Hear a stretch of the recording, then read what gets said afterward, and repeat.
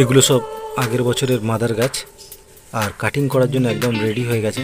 দেখতেই পাচ্ছেন কত সুন্দর হেলদি হয়েছে। খালি একটু যত্নে রাখলেই এই গাছগুলো আবার নেক্সট ইয়ারের জন্য তৈরি হয়ে যাবে।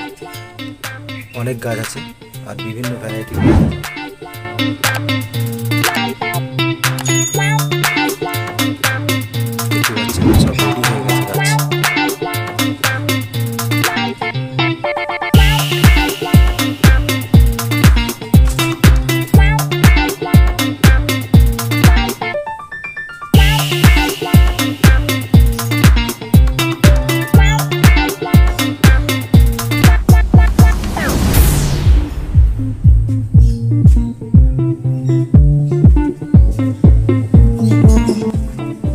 to age a joint variety